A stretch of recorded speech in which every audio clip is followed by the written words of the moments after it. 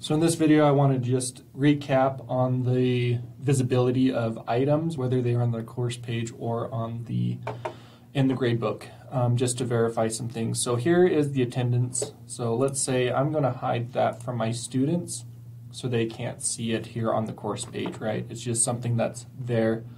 And then if I go to the gradebook setup, so I'm just going to double check here in the grader report. There's the attendance tool. So currently it's hidden. So I think, if I remember correctly, they are tied initially.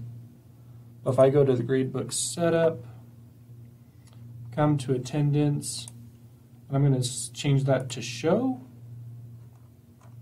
Go back to the grader report. That shows that it is visible here in the grader report. If I go back to the course page, it still shows that it is hidden from students. So that's how you manage that visibility on the course page and gradebook setup.